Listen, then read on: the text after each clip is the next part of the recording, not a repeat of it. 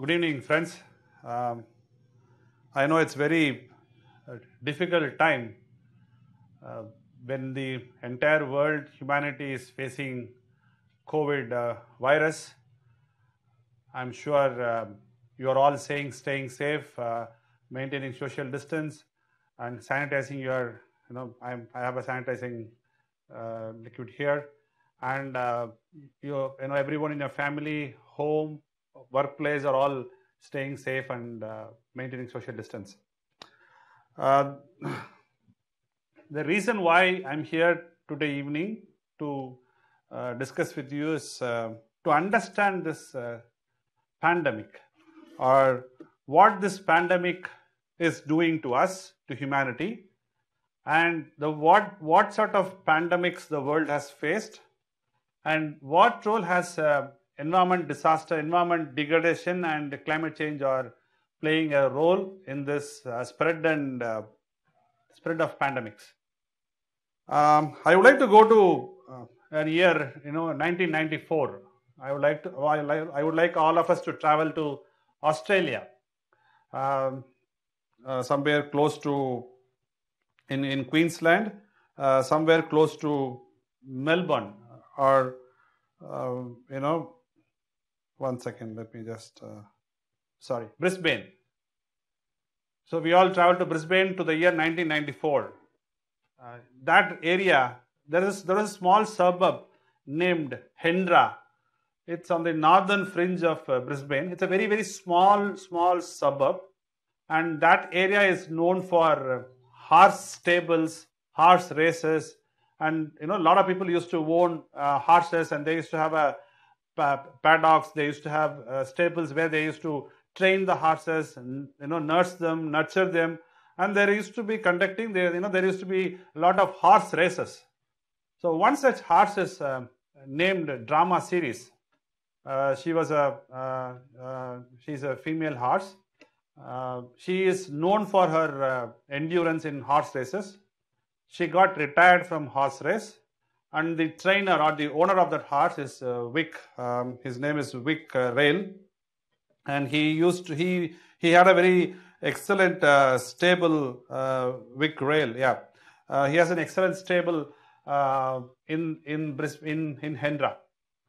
So, in during the month of September 1994, the horse uh, got conceived and she was and she was pregnant. And usually, um, rail Vic rail used to you know allow the horses to a small uh, paddock where they used to graze to remain there to stay there, and you know after some time he goes and brings them back to the uh, stable. On a one day on September, suddenly the horse uh, fell sick. So uh, somebody told uh, Vic Rail that you know horse horse has fallen sick.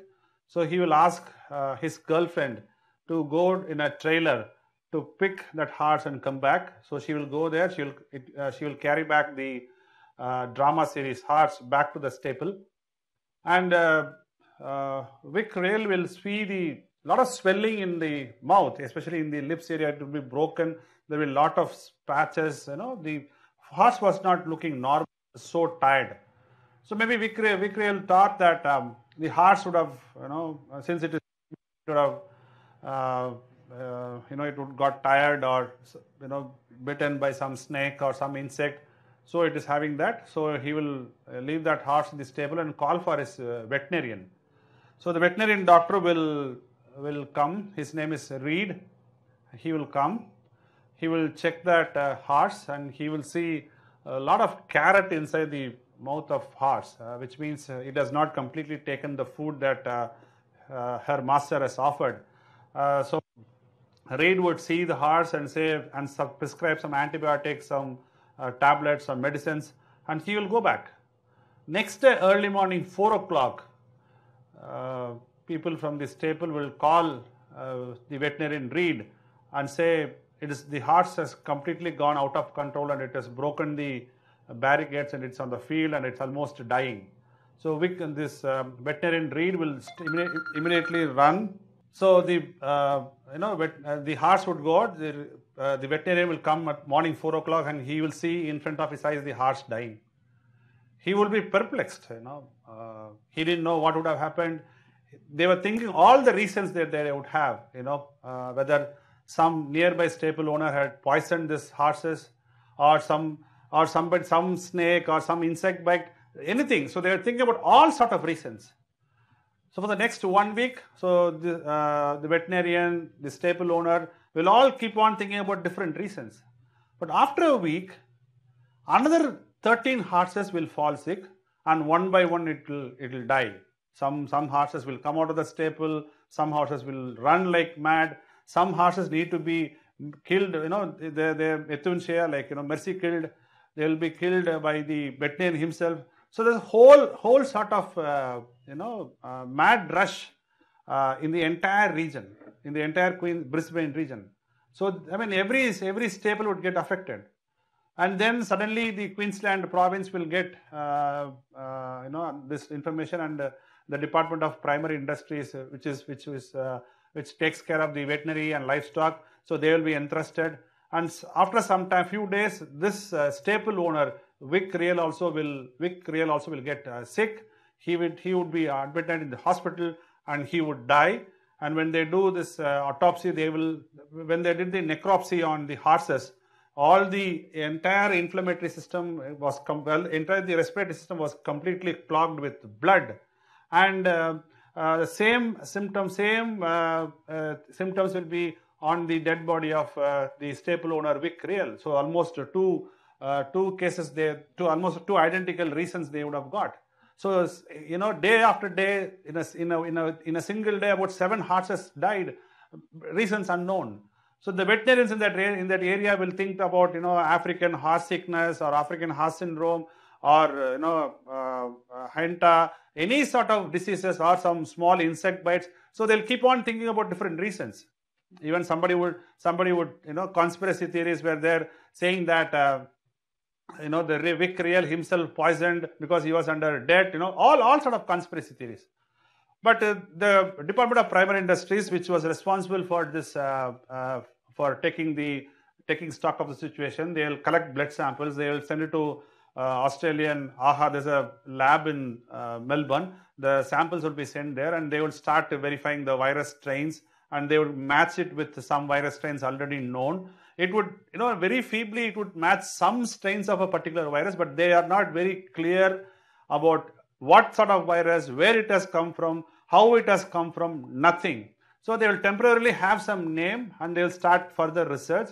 And first they will rule out AHS, which is African horse sickness or syndrome. They will rule out one by one, and they will come to a uh, uh, you know sim, uh, technical name till everything gets finalized, and they will find out that this, and they will come to a conclusion, there's a new strain of virus which Australia has not seen till now, has got into this um, drama series horse. It spread to other horses and it even killed one human. And uh, the their their anxiety and their worries worries did not end there. So they start to think, you know, where was this virus all these days? How did it come suddenly out of blue and attack this um, horse, a drama series, and then other horses. It did not come from anywhere else. It did not come from you know outside outside Australia because after a particular virus, Australia was very particular that they will not allow any exotic animals, animal trade. So they were very careful on allowing exotic animals.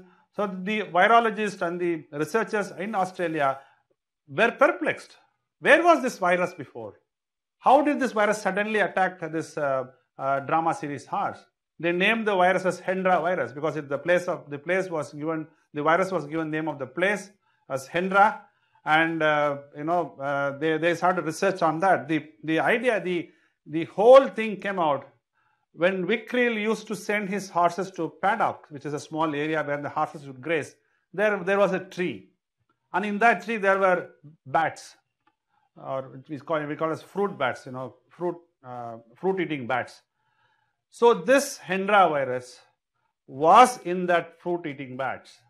So they found out that. But suddenly, you know, they traced back the uh, you know ancient uh, sequences. For 200 for 2.5 crore years, this bats and kangaroos were living together, coexisting in Australia this virus did not go and affect kangaroo. They, they, they did not affect it.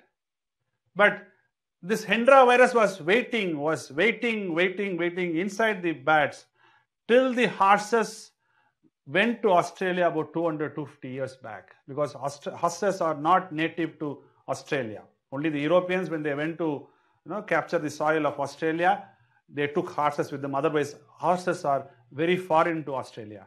Australia doesn't have any horses. So the immunity system of kangaroo and the immunity and the, and the system of uh, bats have co-evolved over 2.5 crore years.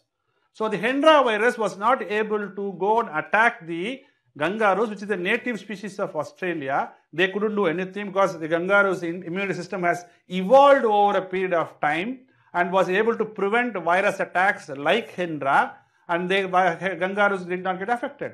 But the immune system was, uh, of horses was completely foreign and was completely new to Australia and the viruses surrounding in Australia, they have a very weak immune system compared to the native animals of Australia. So these bats were waiting for crores of years till a horse to come and infect them with Hendra viruses. Friends, if you think that humanity has, has conquered smallpox, humanity has conquered polio, and it will conquer the SARS-CoV-2 virus, then I'm sorry, we are mistaken. The smallpox virus, which is, we all know what virus it is, the polio virus, poliomyelitis, and the variola virus of uh, which, which creates smallpox, are not zoonosis viruses or zoonotic viruses. Zoonotic viruses are the one which transfers, which get transmitted from an animal to an animal or an animal to a human. Whereas smallpox virus and polio virus are not zoonotic viruses. So this zoonotic virus is an issue. That is why we are not able to find medicines or vaccines for HIV, for dengue, for yellow fever. All these are zoonotic diseases. 60% of uh, the diseases that humans get due to pathogens, you know pathogens, what pathogens are? In Tamil we call it as a no kirimigal. 60% of diseases that humans get from pathogens, due to pathogens, are zoonotic diseases, are from, are from animals. We have to understand that. Since 1981 till 2018, the world has lost about 3.2, 3.2 crore people to different zoonotic diseases in this world, friends. We have to understand this. 3.22 crore people have died since 1981 till 2018. 3.2 crore people have died only because of zoonotic diseases. Have we, have we not seen zoonotic disease? We have seen AIDS is a zoonotic disease from chimpanzee. Ebola is zoonotic disease. MERS is zoonotic disease. SARS is zoonotic disease. Dengue. So you can, you can talk anything like this. You know, most of these are zoonotic diseases. So the difference between smallpox, polio and the, you know, the recent out, pandemic outbreaks is these pandemic outbreaks that happened recent past last 30, 40, 50 years is because the destruction that is happening in the ecological cycle. That is why we are unable to find uh, this, uh, vaccines or therapeutic medicines for HIV or for Ebola or for yellow fever or for dengue. We are not able to find vaccines because these are diseases that are born out of the destruction that is happening in the ecological cycle in this world, whereas diseases like smallpox and polio, we are able to eradicate there because they are just pathogens. And one more reason for improvement in human health is because of the sanitation improvement.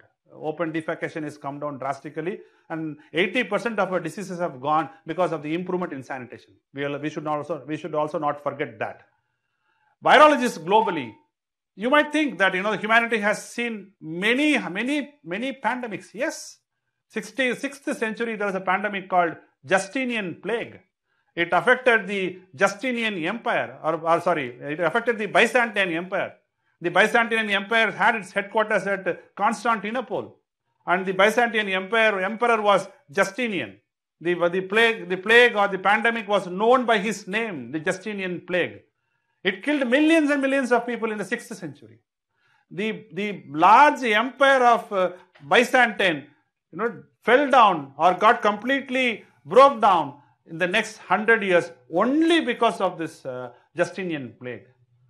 In the 13th century, we saw Black Death. uh, another pandemic, global pandemic. More than crores and crores of people have lost their lives in Black Death. And Black Death brought down the influence of the Catholic Church on the society.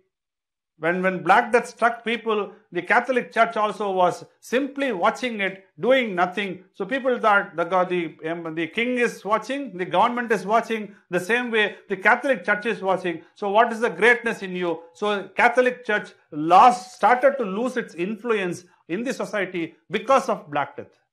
Then we saw Spanish flu, many other, many other uh, pandemics. But those pandemics are completely different from the pandemics that we are talking now. And we see the number of pandemics that the world has faced in the last 30, 40, 50 years. And this, this zoonotic diseases can transfer from animals to animals or animals to human depending on the immunity system, depending on the nature of the virus, everything. Everything. MERS, which is called as Middle East Respiratory Syndrome, from bats it went to camel, then to humans. Nipah from bats to wild boars, then to humans.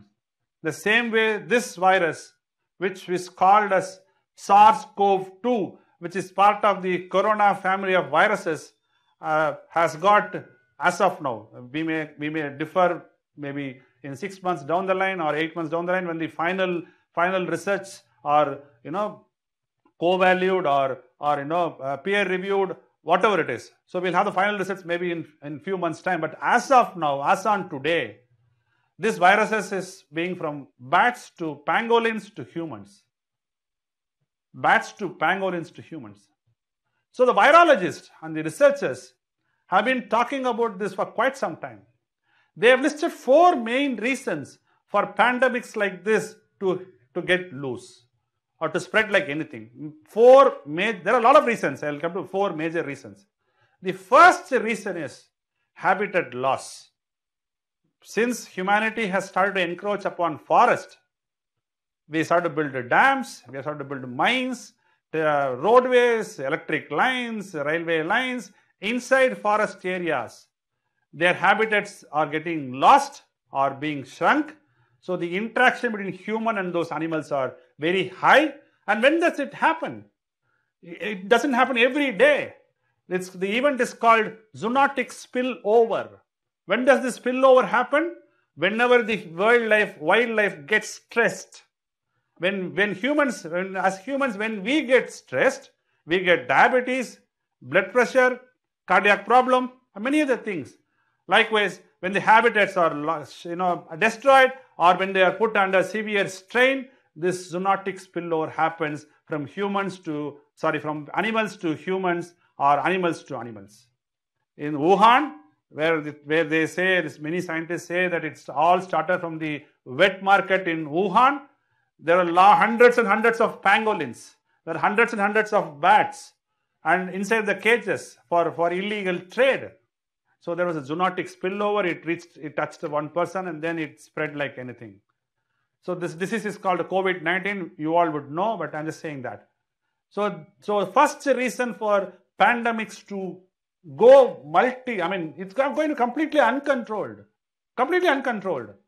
The first reason is the habitat loss, which means deforestation. The first reason is that. The second reason is urbanization. Globally, if you look at which are the areas that are most affected, it is the urban cities. In India, 70% of uh, corona positive patients are in six cities or 60 to 70% are in just six cities. Chennai, Mumbai, Delhi, Ahmedabad, Thane. So these are the six cities which has about 60% of positive patients in our country. So second reason is urbanization. The third reason is illegal trade of exotic animals like bats, pangolins, wild boars, hunting, illegal trade, commerce. In, in Wuhan, the market is an illegal market. The market was selling illegal meat of bats and pangolins, anteaters, many things. So it's illegal trade of this exotic animals is the third reason. And the fourth reason is the weakening of or the you know the strength of AMR antimicrobial resistance is weakening these days because our body has got an excellent antimicrobial resistance which, which, which doesn't allow pathogens to affect us. What is this AMR? What does this AMR? How does it become you know weakened? Because of the overuse and abuse of antibiotics that we take, necessary overdose or you know uh, abuse or without reason we take antibiotics. So it, it uh, weakens the antimicrobial resistance in our body. And one more thing, industrial level meat production. Like for example, you grow broiler chickens. So these broiler chickens are fed with antibiotics for being, you know, uh, uh, uh pathogen proof. Like, you know, the pathogen should not go and affect the uh, livestock. Pathogen should not go and affect the, you know, chicken. So the chickens are fed with antibiotics and the chickens are fed with growth stimulators. So humans, we humans eat those broiler chickens and which are fed with antibiotics and growth stimulators and we and our AMR which is antimicrobial resistance gets weakened. Gets weakened. So these are the four major reasons that the virologists say that these are the four major reasons because of the uh, destruction in the environmental cycle we humans get pandemics like you know COVID-19. We'll have to be, we, are, we will have to, you know, I'll give you a very simple data. If the deforestation, which whatever is happening today, is going to increase by just 10% more in the coming days, in the coming years, months, 33 lakh people will get malaria and dengue. Just 10% increase, I'm saying. Just 10% increase of deforestation will increase the dengue and malaria attack to 33 lakh people more other than the people who are affected now. So these 33 lakh people will get affected more than what is getting affected today. That is the effect of deforestation that we are trying to bring into this world. And also I would like to quote one more report which was published in 2019, uh, published by Lancet. Uh, Lancet report says, you know, the title is uh, Climate and Health so that report clearly said that the way the pathogens are going to produce diseases and the way the vectors, vectors are the disease, the, the uh, mosquito is an example for uh, uh, the vector. Mosquito, they spread the disease. They carry disease from one person to another person. So they spread the disease. Those, the, the disease spreaders like mosquitoes, the vector, they are called vectors. The pathogens, the vectors are going to completely act in a different way than they were acting about 10 years, 20 years, 30 years back. So the way the diseases are going to happen to humans and the way the vectors are going to carry these diseases to humans are completely going to get a changed are completely going to get completely changed what was happening about 20 30 years back and the report also said whatever the humanity has achieved in the last 150 200 years the progress that the humanity has achieved in terms of public health, the forward movement that the humanity has achieved in terms of public health, climate change will undo all the progress that the humanity has achieved in the last 150, 200 years in terms of public health, friends. It said that. And you know, they have a fantastic report. Maybe, you know, uh, would be civil servants, you like you can download those reports like, you know, climate and health from Lancet it's a very, very famous medical journal. We all know that. So, and the report was clearly, you know, uh, demonstrating data by data how climate is climate change is affecting various diseases in human beings. And there, there is a small two. I'll, I'll, I'll just like to refer to two data in that report. So they, when when we started to collect data on, you know, uh, dengue fever, so from last 150 200 years, so they zeroed in some 10 years which were very, very you know, superbly conducive for dengue fever to spread like anything. 10 years they chose. They chose 10 years which are most conducive for the dengue fever to spread like anything. And though out of those 10 years, 9 years was after the year 2000 because of the amount of carbon that we emit. The climate change and global warming, it is happening. And if, if the number of diarrhea days in 1981 has doubled by 2018 because of climate change and global warming. Diarrhea days, the number of days that the world faced diarrhea, it got doubled in 2018. So this climate report, and also it said, you know, see, we all know when we get fever, what will our elders say? That our body is raising the temperature to fight the virus. As many virologists say, in fact, that high temperature is, is a lethal weapon against the virus. It will, it will destroy, it will deactivate the virus. So when you get high temperature, at times, not every time, at times you take medicine also, at times the high temperature itself will kill the virus. But today what is happening? The viruses get used to higher temperatures outside our body because of global warming and climate change. So when they enter our body, that the body's temperature is about 37.5, 37.567 uh, degrees Celsius, you all would know. So the, when, the, when the pathogens enter our body, lower temperature than the external world inside our body are very conducive, are very favorable for the pathogens to mutate and spread like anything. I would like to quote the example of the mosquitoes again. 10 years back when there was a mosquito menace, you will light up or you, you will light up the mosquito coil and put it in your room. And today you would find the mosquitoes standing on, on top of the mosquito coil and dancing. Because the mosquitoes have got immune to the mosquito coils and they, do, they are least bothered about this uh, mosquito coils. The same way the pathogens have got used to higher temperature outside our body and when they get inside our body, they are the, the temperature of our body is more conducive for the pathogens to mutate and to spread like what is happening today. So this is also an effect of climate change. In 2018, there was a climate change report from IPCC, Intergovernmental Panel on Climate Change, which said, I, I, there are many things that are said, I will just keep, keep it aside and just focus on the health part alone. The humans have to bring down the carbon emission, whatever we are emitting today, by 50% by 2030 and make it net zero by 2050, 2050. So what is that net zero? Oceans and forests have got this capacity of absorbing the carbon that we humans release. So you can release the amount of carbon that the forest and the oceans will be able to absorb. Only that you can emit. That's called net zero. So by 2030, it should be 50%. By 2050, it should be net zero. And it said the permafrost Permafrost in Arctics, in polars. Permafrost is what the you know the ice or snow that was years back. The permafrost would thaw, would defreeze, and ancient virus families would come out. The report said. In 2015, in Tibet, in Himalayas, virologists have discovered 33 ancient families of viruses. It is not single virus, huh? Corona is a family. SARS-CoV-2 is part of that family. MERS is part of that family. SARS is part of that family. So like this, there are 33 ancient virus fa family of viruses. 33 families of viruses. Only in Tibet. Then there is Arctic. Then there is Antarctic, Alps, Siberia. All these places are there.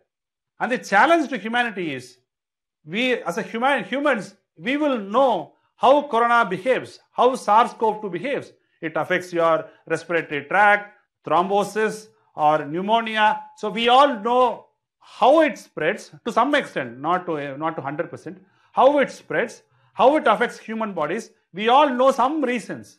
But these ancient virus families, which were active about 500 years to 15,000 years back, the virus that was found out in virus families that were found out, found out in Tibet is at least 500 to 15,000 years old ancient family of viruses. So this, the present humanity may not, will not know how those viruses will, will, will, will become contagious, how those viruses will become spread, what is the RO factor, what, which are the parts that will get affected. We don't know anything. We know nothing. We know nothing about those viruses.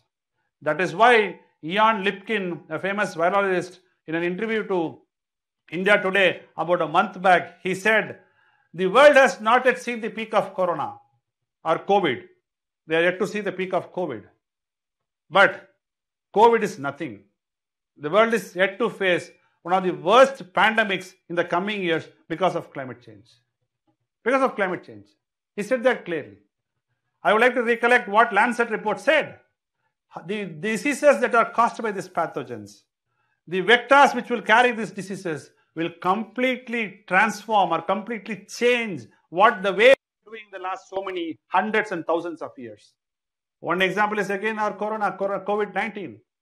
You know, every every day, thousands and thousands of these strains using the technology called uh, deep sequencing, their genome sequencing is uh, studied and it's getting uploaded in the GISAID, which is called Global Alliance of Influenza Data. So GISAID database is getting uploaded every day with strains from uh, COVID-19 virus or SARS-CoV-2 virus. And you know what? There are uh, even now not not every different strain has been updated. There even till now today there are 25,000 different strains of viruses that the virologists have detected, the microbiologists have detected and uploaded in the GISAID platform. 25,000 diff I'm not saying everything looks, uh, you know, they, they don't, I'm not saying that they are different in nature. They are different in formation. No, no, they may be alike, but there are differences in their nuclides. There are differences in their structures. There are differences in their formation. I'm not saying everything is externally, you know, very different. No, it may not be there. That is why, why I said the virus and the disease are completely going to change. Sometime back, few years back, when we get affected by a viral disease, our body develops antibodies. Our body develops antibodies. So when the virus comes in, our immunity system will generate that antibody, send it to the virus, it will deactivate, destroy, and that information is stored in the memory of our immunity system. So when next time, when the same virus attack happens, the immune system from its memory will understand what sort of virus is that, which is the you know relevant antibody for that. It will send that antibody and destroy or deactivate the virus and we don't get affected. But today, people who were affected by corona, treated, cured, are getting re-affected, are getting positive again. This has perplexed the entire virologist community. Because all these days we were saying that we will have herd immunity, let about 40, 50%, 60% of our population get uh, affected, so it becomes herd immunity. I mean, I don't, I don't foresee for a 100% proof, herd immunity proof in this case. South Korea, India, China have all got people who are re-affected or again affected by corona or po become positives of COVID-19. So this is what I said. You know, the diseases, the pathogens, the vectors are going to completely change, completely going to change for bad, not for good, for bad, the way that humans got diseases, the way humans were affected by diseases. It's going to completely change in the coming years. Climate change will ensure that. This is what those two reports say. You can download those reports and see it for yourself. Scientific American is there, Lancet is there, Nature is there. The lot of technical reports on, on internet which you can download and go through it if you are interested. The lot, thousands of reports on this, deforestation, zoonotic diseases, you know, many other things. And there is a organization called Predict in US. It was funded initially by US aid and Bill Gates Foundation also funded that uh, Predict organization they have identified 1400 odd viruses to be studied, to be understood, to be known. They have identified 1400 viruses, out of which only four or six viruses they have studied. Remaining are all are there to be studied. Imagine the kind of uh, you know challenges that we are going to face. Not only that, my dear friends, it is going to be last year in the same uh, month of uh, uh you know April end May there was this uh, Fani cyclone which got uh, which started as a depression from nearby equator, uh, you know, below Sri Lanka, moved northwards and it crossed the Orissa coast on May 3rd, 4th, creating havoc, creating destruction. You know, unimaginable pain, giving unimaginable pain to people there what Fani Puyal is so, why Fani Puyal is, Fani, Fani storm is so unique in its character. Usually, when a depression gets formed, it, the depression gets strengthened, becomes cyclone, super cyclone, or whatever it is, it will cross the coast about four to seven days time, in four to seven days time. But Fani storm, Fani cyclone took 11 days to cross the coast of Orissa, creating havoc. Since it was there in the oceans for 11 days, because climate change and global warming are heating up the oceans like anything, there is a lot of water which gets water which gets vaporized and it's there in the atmosphere. This slow moving cyclone picks up all these water droplets, picks up this moisture, and it crosses the coast, it creates havoc. It created havoc in Odisha. And IMD, Indian Meteorological Department, had to issue nine bulletins to change the course of the cyclone. They were not able to predict. They were unable to predict that. They said initially it will cross the southern part, southern part of Tamil Nadu. Then they said it will cross, cross the central part of Tamil Nadu, which is Nagapattinam. Then they said Chennai. Then they said South Andhra. Then they said Central Andhra. Then Visakhapatnam. And then finally it crossed between in Odisha, between, between Bhubaneswar and Cuttack. And you know what? We are all very lucky. I would say that I, I, I don't believe in luck, but still I would like to call lucky because it did not cross the coast in uh, Tamil Nadu. Odisha set up its state disaster management authority about five years before the National Disaster Management Authority was formed. National Disaster Management Authority, NDMA, was formed only after tsunami in 2004. The NDMA was formed only in 2005. Whereas the OSDMA, Odisha State Disaster Management Authority, was formed in 1999-2000. They had an excellent disaster management setup. They had constructed some 878 shelters in the coastal area. It, it can house about 10 lakh people. In 24 hours, friends, for the Fani to be you know, fought over or to be, for the government to face that, they evacuated in 24 hours. 14 lakh people were evacuated from the coastal areas to safer places. The life loss was very, very minimal. The chief minister came online and said, we will try to minimize this life loss in the next disasters to come. Amphan Puyal or Umban Puyal, which struck West Bengal 24 Parganas district. Mamta Banerjee, the chief minister says she has never seen such a cyclone, such a storm in her lifetime. In her lifetime. Even, even 185 degree, 185 kilometers per hour speed, the cyclone was crossing the coast. It, it will cross, it, we have seen Gaja, we have seen uh, Fani, it has, it has inside in the oceans, it will go up to 200, 210, even spikes will go to 230. But when they cross the coast, they were general impression is the cyclones will weaken, will become weak and then cross and slowly disappear. But you know what happened in Fani? It crossed the Orissa coast. It went till Bengal and destroyed most of the things. The same thing happened to Gaja cyclone in Tamil Nadu. It crossed the coast of Nagapattinam, went till Kodaikanal, Palani, Dindigul, interior parts of Tamil Nadu, created destruction in those areas and went to the Arabian Sea and went till Africa. So the, the characters of cyclones are changing. The characters of the, the uh, one more one more cyclone is Ockhi, which uh, again couple of years back Tamil Nadu southernmost district Kanyakumari district faced it. When a, when a cyclone is when a depression is formed, it takes roughly about 40 to 70 hours to become a cyclone or a super cyclone. Depression, deep depression, heavy depression, then cyclone, mild cyclone, medium range cyclone, super cyclone, whatever it is, it takes about 40 to 70 hours. But Ockhi cyclone took just 6 hours for, from getting converted from a depression to a cyclone. That is why we were not able to communicate to our deep sea fishermen from the village called Thoothoor in Kanyakumari district. We lost thousands of fishermen in that cyclone. We till now we didn't know where they were, where they have gone. So we assume that they are no more because of the cyclone. And, and you know, friends, now we are in double disasters and triple disasters. Cyclone, we have got one more cyclone at Arabian Sea, which is expected to cross uh, the coast of Mumbai in two days' time. How do we maintain the social distance? How do we maintain our sanitizing? How do we clean up our stuff? How do we be safe from corona, COVID, and also face the cyclones? We have got uh, locust, desert locust.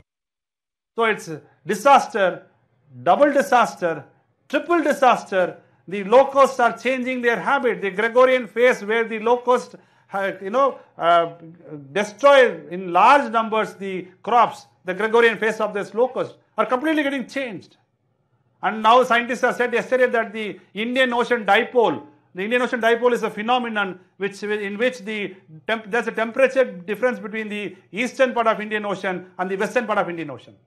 When the, when the Indian Ocean dipole is positive, we used to get rainfall like anything. Australia will have heat. That is why last year it was Indian Ocean dipole positive phenomenon. So Australia's bushfire, one reason is, is Indian Ocean, Indian Ocean dipole being positive. So Indian Ocean dipole, if it's become positive, then which we have heavy rainfalls, not only in India, not only in Maharashtra, not only in Kerala, not only in Karnataka, but on the African, African continent also, in the Gulf region also. Last year there was a heavy rainfall so there was a last, lot of moisture content which is very conducive for desert locusts to, to give birth and to grow and to become gregarious phase where they comes in swarms and swarms. Millions and millions of locusts come and destroy our fields and usually, very generally, last year it came to uh, Rajasthan.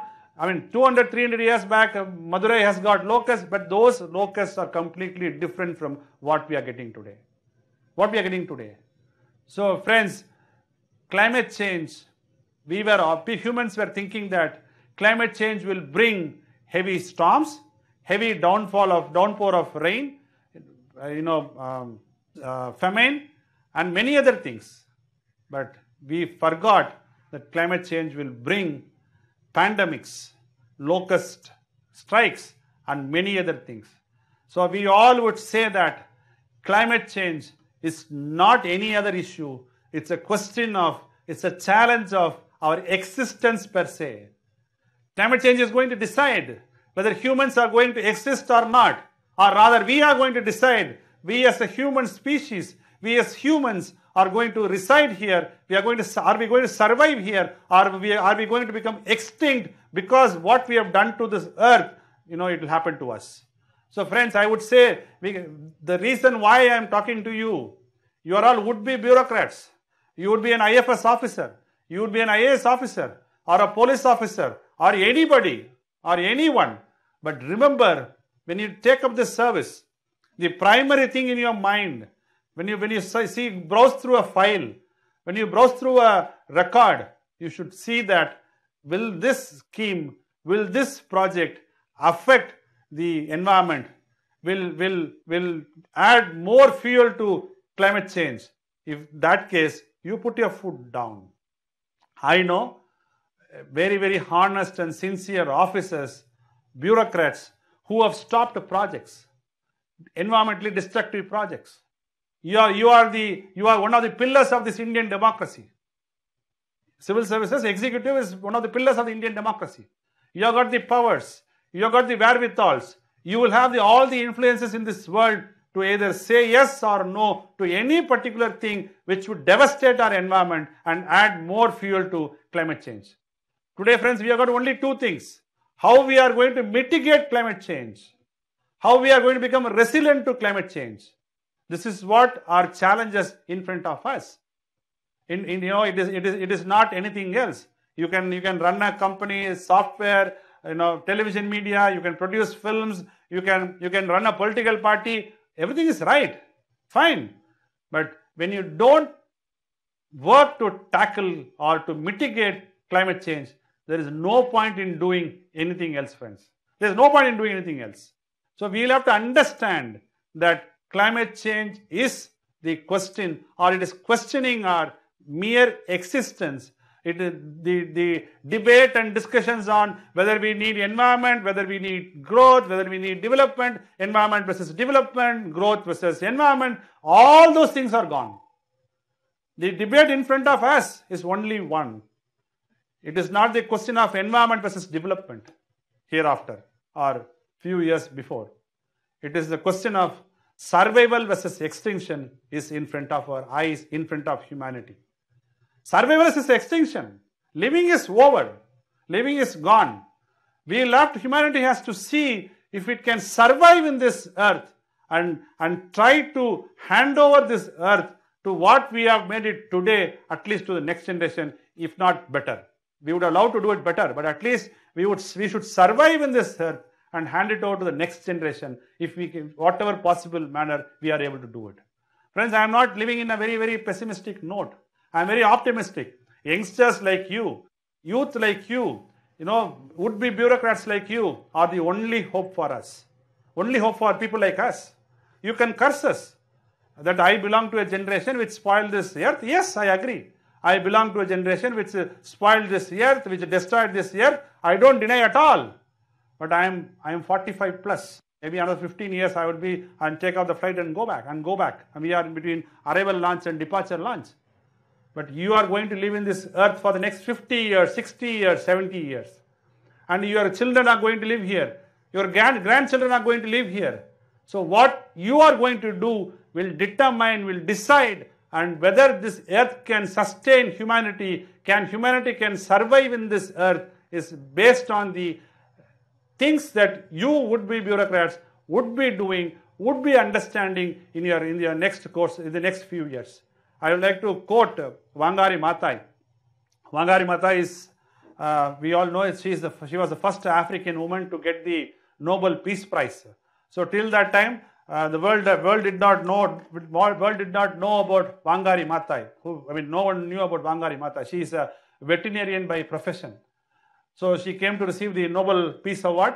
She got the award. She came out, and the whole battery of international journalists who were standing outside the hall to ask who she was. So the journalist went and asked her, "Who are you?" If I was there, I were there, I would say, My name is Sundarrajan, I am from this place, I did my engineering, I am part of Poovulagin Nanbargal, blah, blah, blah, blah. But she is Wangari Maathai. You know, she said a small story. There was a huge forest fire. A huge forest fire was happening. There are animals, you know, elephants, tigers, lions, bears. All these animals were simply sitting, sleeping, idling. There was one small hummingbird it was flying to the nearby, you know, river stream, took a drop of water in small beak, came and dropped over the fire. It did not do once, huh? It was completely doing, goes to the river stream, picks up that droplet of water, comes and pours in the, in the fire. So it was doing continuously. After some time, a rabbit called this uh, hummingbird and asked, Are you mad?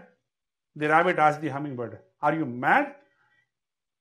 lion is sleeping.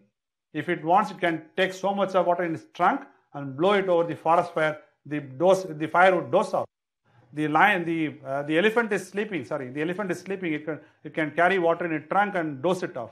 The lion is sleeping. The tiger is sleeping. Many other animals are sleeping. You are a Lilliputian. You are a tiny hummingbird. What can you do by carrying this drop of water? The hummingbird replied, I will do what I'm able to do to the best of my ability till however, till however long I'm able to do. So this message reached the other animals. Everybody got up. Picked, the elephant took water in his trunk. The lions, the tigers, they had carried water and dosed off the forest fire, and the forest was saved. And Wangari Maathai said, I would like to be the hummingbird of this world. Friends, we all have come to an era, come to a situation, come to a time where we all should become hummingbirds of this world to save this earth, save this humanity, save this species from destruction. And we will have to ensure that we survive this climate change, pandemics, everything for the betterment of humanity. And this earth is not an, I would like to complete this by saying, this earth is not an asset that we have inherited from our forefathers. It's a liability that we need to repay to our next generation with interest. And thanks for what, keeping, you know, for watching for the last an hour or so.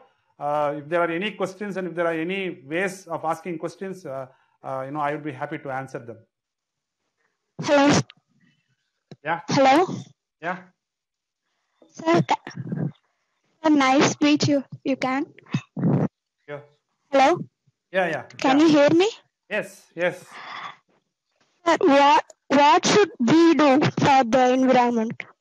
Then gone every uh, what what you said the global warming and what we do as a as friends as a natural liking students or what we do for the environment.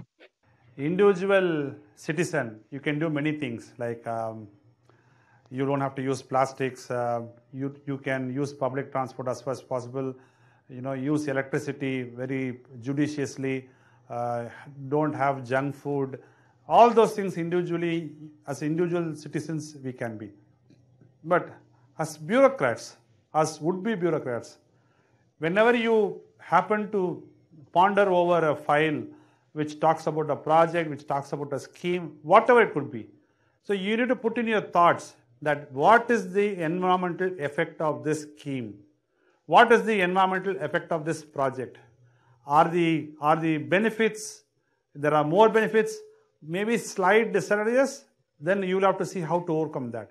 If there are more disadvantages more destruction and it will add to add to more uh, you know more fuel to climate change then you have got every right every uh, power to stop that project to review that project or do anything that and you, you have got all the powers that will that you can stop that things that will jeopardize the environment so, as uh, would be citizens, uh, sorry, would be bureaucrats, and as citizens of this world, you have got two responsibilities. One, individually, how environment friendly are you?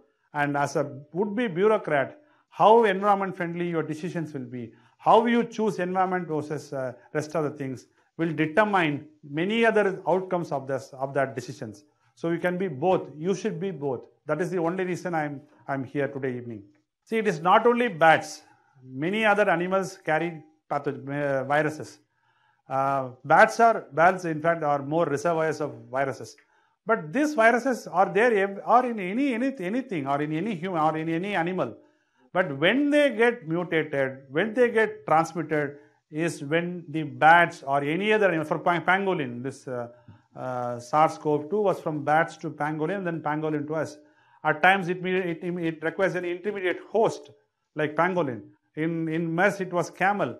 In something else, it was a wild, boar. So it is not that bats are which are which which carry viruses. They pathogens are there everywhere. Only from patho when there is a spillover, it happens to another uh, uh, animal or humans, and the mutation happens. It becomes pandemic. So we and you know what? Uh, we are worried about people getting scared about bats or people getting people vilifying bats. Unfortunately, uh, the Indian Wildlife Act has, uh, uh, except for two species of bats, they have termed bats as verm- vermions, vermilins, like you can kill them. So, which we are trying to, you know, uh, challenge it and which we are trying to uh, undo it. Bats do excellent ecosystem services. Not many of us know this. What there are 500 varieties of, of 500 species of plants which depend on bats to do the pollination. What whichever the flowers have, which get the flowering in the night time or in the evening time, bats do the pollination. And bats are insect eaters. And you know what insects they eat most? Mosquitoes. So you remember when bats revolve around your uh, you know village or town, you remember people bats are carrying mosquito bats. If those bats are not there, more mosquitoes will be there, more dengue, more malaria, more fever will attack us. So bats eat a lot of insects. So the amount of the the best second best uh, uh, species for pollination is bats. The first is honeybees. Second is bats. So if uh, bats do lots and lots of ecosystem services to for humans. Only when we disturb their uh, habitat, only when we destroy them, it, it fights back or it gives, gives back us. So, you know, uh, you don't have to vilify or don't have to worry about bats per se actually. Good evening, sir. Yeah, good evening. So it was a very informative session, so thank you. And uh, I wanted to ask one question. You mentioned uh, a little bit about Lancet report. Yeah. I would like to know some more information about it, sir. It's a about roughly about 50 pages report. It talks about each disease, how it has increased over a period of time because of uh, climate change, how the overall public health system is crumbling because of climate change, and how pathogens and viruses are transforming for bad when you know and the way the diseases are being conducted over the past so many decades. So it is it's a very exhaustive report. You know, in fact, I can talk about only on that report for you know a few hours.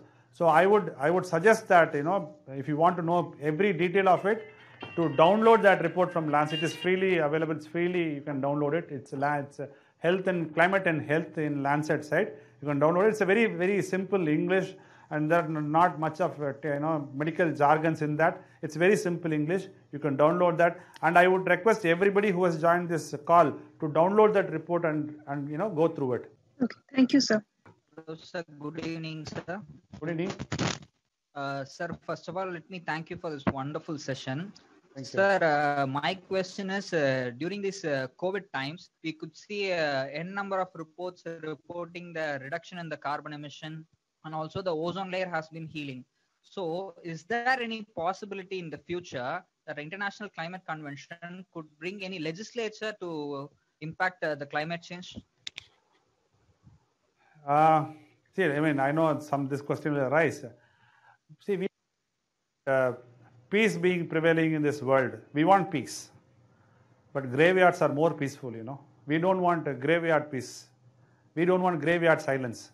We want peace to exist or coexist with a normal livelihood without polluting the environment. There are technologies, there are methodologies where you can live when the Ganga flows fine, when the Cooum flows fine, when you can see the Himalayas from Bihar, when you can see the blue skies instead of uh, ash skies. There are technologies there. There are methodologies there. So you'll have to implement them. We don't want graveyard peace. I'm very, very clear on that. It is there is nothing to Yuvalajaya, there is nothing to be, you know, uh, happy about the environment being, you know, unpollutive. The, you know, we people are able to see uh, blue skies instead of gray skies. I mean, this is not the actual thing that we want.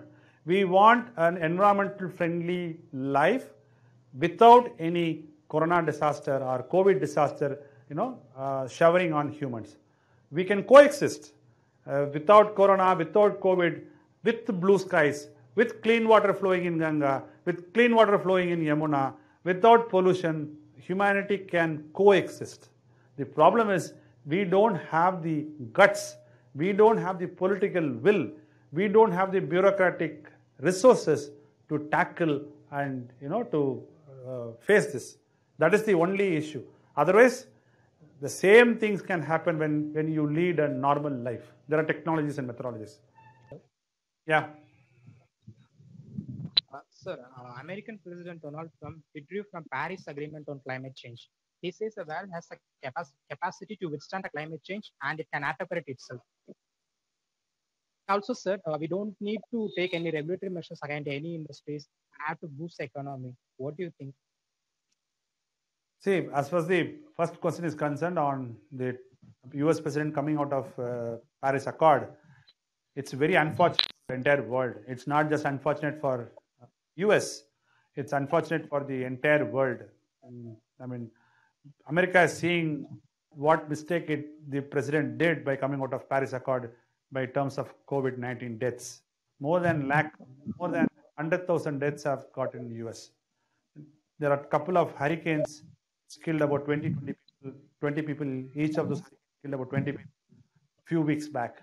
It was not reported because um, because of the COVID uh, situation. So on in last year in October in Washington, Mr. Trump lives in or resides in White House. There was a downpour of rain, whatever whichever amount of rain that used to fall on fall in a month, got down in a day and the press room of White House was inundated. They have to be evacuated because of the flood water getting inside the press room in the uh, basement of White House.